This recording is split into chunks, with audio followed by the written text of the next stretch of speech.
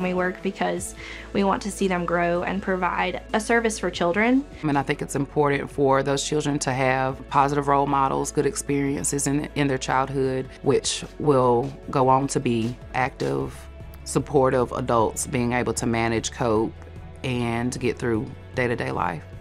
I chose to go into early childhood because growing up, I was in church a whole lot. So my mom, she ran Sunday school. My mother and father were both educators. And when I was about in middle school, my mother took on operating and owning a facility. The teaching field for early childhood is, is very small because it's hard. It, it's long days and the pay rate is not that great. My true passion was children, watching them grow, watching them learn. I feel like the biggest reason why it's harder to stay in early childhood education is support and that includes state support, local support. Then under that, that would include resources, training. There's a lot of teachers that are leaving the field and almost encouraging other teachers to do the same. We care for the children that come into our programs and we want to do the very best job that we can and to do that, we need to be backed up.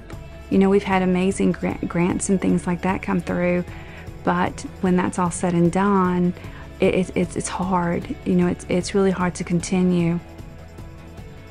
Visit raisenc.nc.gov to learn more about early care and learning in North Carolina.